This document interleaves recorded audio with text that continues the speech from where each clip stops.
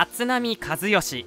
選手時代からミスタードラゴンズの愛称で親しまれ2022年シーズンより中日ドラゴンズの指揮を執ることになっています。選手としてはルーキーイヤーからショートでゴールデングラブ賞を受賞するなどして常に注目を集める存在でした。今回はそんな立浪氏に対して選手と監督という立場で接してきた落合氏から見る立浪監督について紹介したいと思います。立浪和義の功績。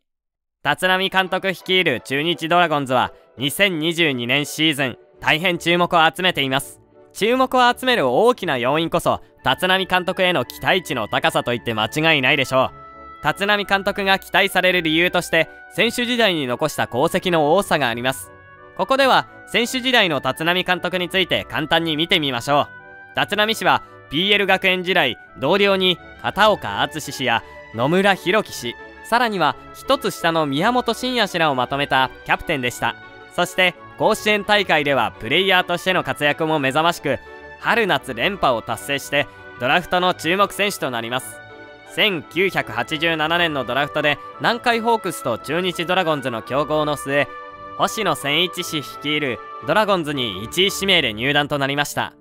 高卒1年目ながら背番号3はくしくも母校の偉大な先輩である清原和博氏と同じ形となっています。立浪氏自身背番号3についてもともとかっこいい数字だと思っていたからと言及するにとどめていますが巨人の長嶋茂雄氏や清原氏が背負っていたということもあるのではないかとファンの間では予想されていました。1年目から立浪氏は1軍の2番ショートに抜擢されます。ちなみにこの頃ショートには宇野勝氏がレギュラーとして起用されていました。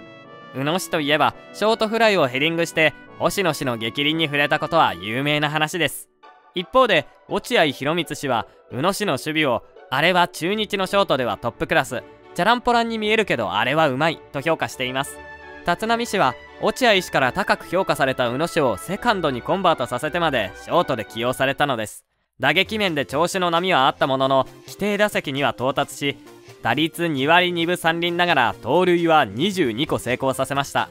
またショートという難しいポジションの守備を高く評価され新人王並びにゴールデングラブ賞を獲得しています。高校の後輩である宮本氏は歴代ショートのトップ3として高校時代の立浪さんと明かしました。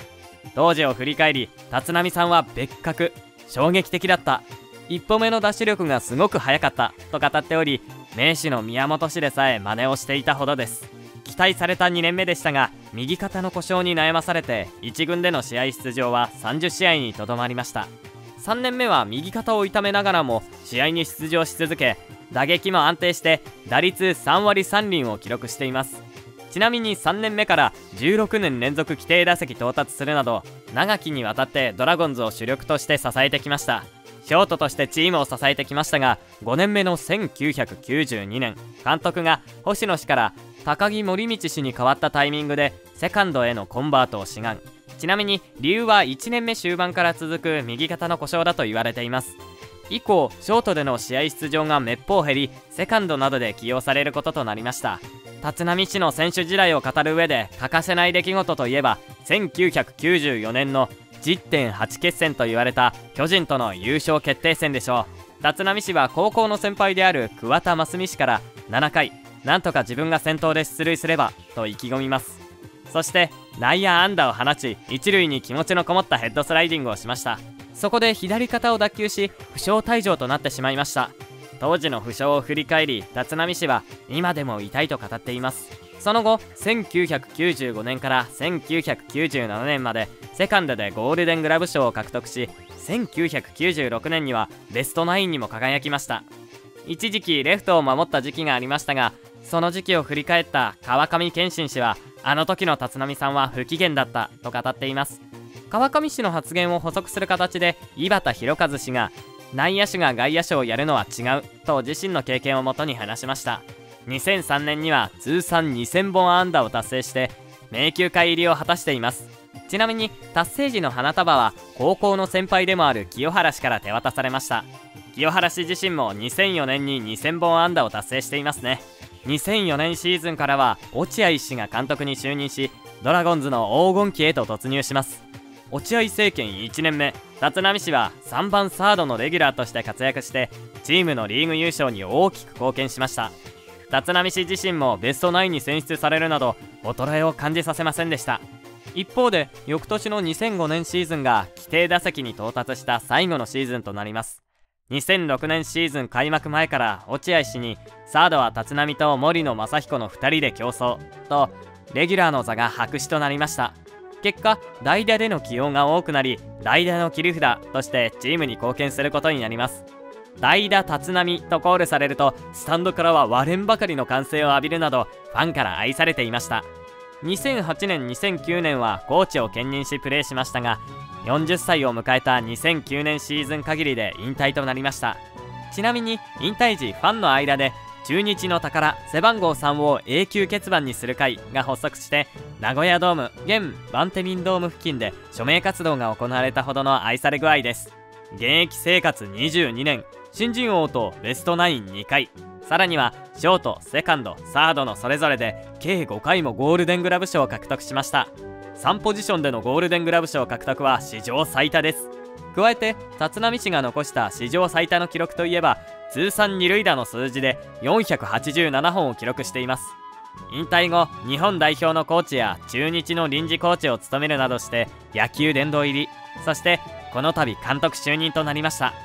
次のところでは現役時代選手と選手並びに監督と選手の間柄として関わりのある落合氏との関係について見ていきたいと思います。落合博満との関係性。まず落合氏がまだ選手としてプレーしていた頃立浪氏はあの手首を柔らかく使う落合さんの技術を盗みたいと落合氏に憧れ研究を重ねていました。そして立浪氏は落合監督のもとで中心選手として活躍。晩年はコーチ兼任までしています。ファンの方の中には立浪監督誕生はもっと早くに実現できたのではという声も飛び交っていました。そこには中日の球団内部で様々な攻防があったと言われています。時は2013年シーズンオフのことです。次期監督候補として落合氏の再任と立浪監督誕生という案が挙げられました。当時の球団オーナーは落合氏の手腕を高く評価していました。一方で現役当時から立浪氏の女性問題や交友関係に顔をしかめていたといいます。オーナーは俺の目が黒いうちは立浪を監督にはしないと言い放ったそうです。そして落合氏も立浪監督はダメだとオーナーに同調していました。落合氏は星野政権の鉄拳制裁という慣習を消したいという考えを持っていたそうです。一方立浪氏は星野氏の下で入団して高卒1年目から起用された選手です。星野氏に育てられた感謝の思いは当然持ち合わせているでしょう。これらの一連の話が立浪監督誕生のネックとなっていたようです。ちなみに当時のオーナーが2020年2月から名誉オーナーとなり現場を離れたためファン待望の立浪監督が誕生したのではとも言われています。立浪氏は星野政権と落合政権というドラゴンズの2大政権を経験していますが過去に野球殿堂入りお祝い会時のスピーチでそれぞれの監督について語りました。星野氏について大変厳しく人間がこれほど怒れるのかなというくらいプロの厳しさ勝ちに対する執念を植え付けてもらったと語った一方落合氏については確執尊敬感謝と様々な思いを明かしています。最後の3年半落合監督とはあまり関係が良くなかった。しかし続けて日にちを重ねるごとに落合監督の考え方が分かり一番野球を勉強した。一番人間的に成長させてもらったと振り返りました。具体的には最後の3年半は代打生活。当たり前に試合に出て控え選手の気持ちがわからなかった。若い選手たちと一緒にバットを振って出番を待った。そういった経験全てが財産。と語っています。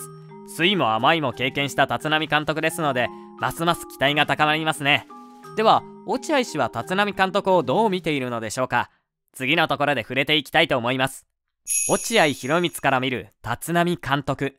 落合氏は立浪監督が誕生した際記者から新監督に一言とコメントを求められ俺取材には答えないよとだけ言葉を残してその場を後にしています。もちろん以降も立浪監督について見解を求められないはずがなくテレビ出演した際教え子である立浪監督についての質問を受けました。すると落合氏は立浪監督率いるドラゴンズについていやどういう野球をやるか開目見当ついていないのでね。監督の色ってのは出ますからと話しています。また立浪監督について野球については真面目と意味深な言葉を残しました。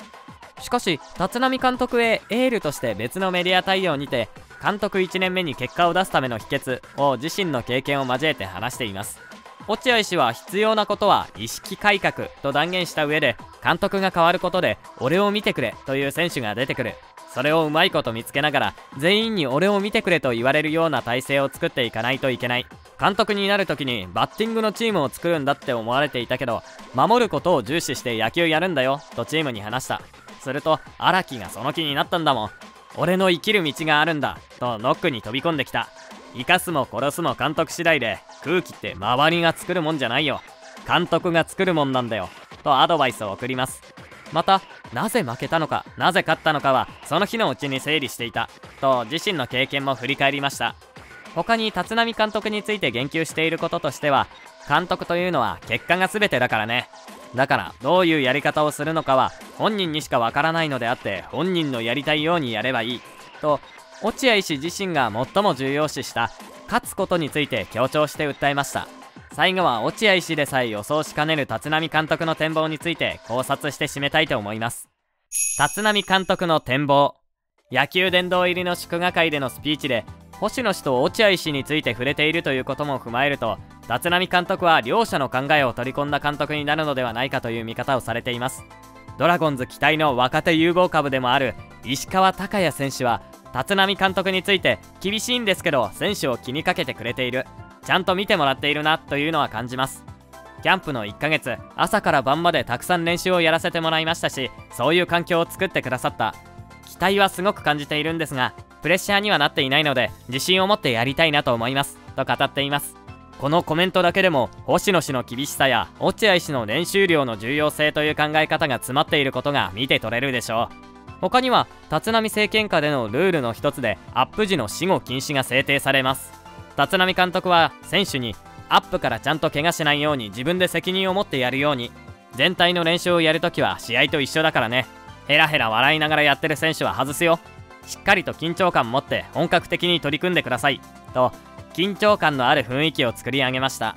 若手の起用については立浪監督自身が星野氏のもと高卒1年目から起用されたようにルーキーを積極的に練習試合やオープン戦で起用するなどしています。一方監督就任時の補強状況については落合政権発足時を彷彿とさせるものがありますね。落合氏は当時この1年は補強を凍結し個々の選手の能力を10%底上げして日本一を取ると宣言していました。立浪政権も現状助っ人外国人の補強を行っておらず若手の育成に注力している状況です。現在鍛えられている若手選手たちが成熟した時中日ドラゴンズの黄金期が再来するかもしれませんね。ということで今回は落合博満氏から見る立浪監督についてご紹介しました。3代目ミスタードラゴンズの監督就任を待ち望んだファンは多いはずです。